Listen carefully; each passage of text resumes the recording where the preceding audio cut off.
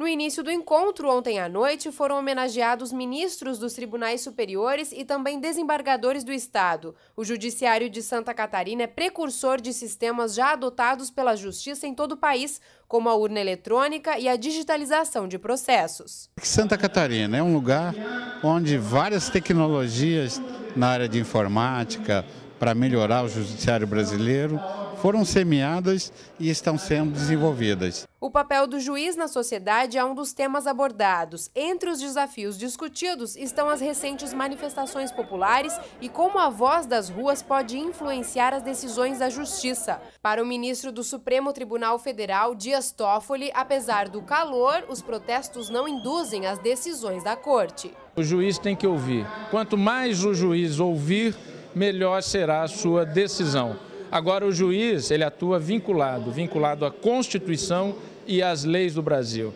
Quem estabelece a Constituição e as leis é o Congresso Nacional, não é o juiz. Esse é o sistema de freios e contrapesos, de balanço que existe entre os poderes. Ou seja, quem faz a lei não é quem aplica a lei no caso concreto. Quem aplica a lei no, caso concreto não pode ter desejo. O juiz, ele não pode ter desejo.